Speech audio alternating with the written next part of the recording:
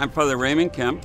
I am a priest of the Archdiocese of Washington. Reverend Johnnie Moore, I am an evangelical Christian leader, president of the Congress of Christian Leaders. So I'm Rabbi M. Bruce Lustig. I'm the senior rabbi at Washington Hebrew Congregation.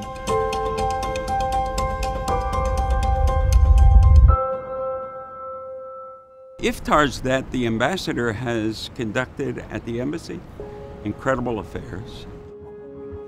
He got people from everywhere, from all over, not just Washington, D.C., but the United States, Jewish and Muslim and every religion that you can think of. When I walked in that room, you know, I, I, I saw something I'd rarely seen before in my life.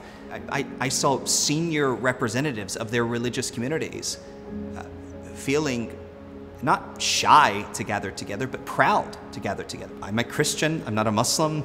I found the hospitality of this uh, United Arab Emirates embassy, a majority uh, Muslim uh, country, extending to me the same hospitality I would feel uh, if I went to my own you know, Easter service or, or, or Christmas service. I thought I had uh, understanding of what real, that radical hospitality is. There is this exceptional hospitality that's in the DNA of every individual that I've come across. I can remember sitting there talking to somebody I never would have talked to otherwise because the ambassador had the, the great good sense to bring people together around the table who could respect one another for their intelligence as well as for their desires.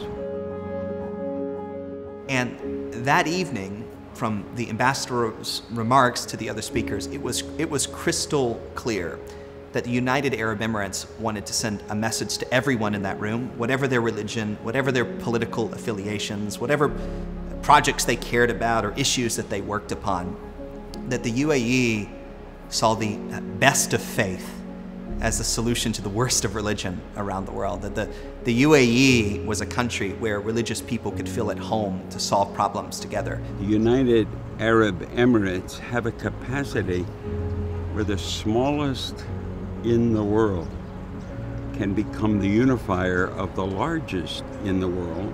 We sometimes like to think that uh, that sense of inclusivity is something that we've brought from the modern age.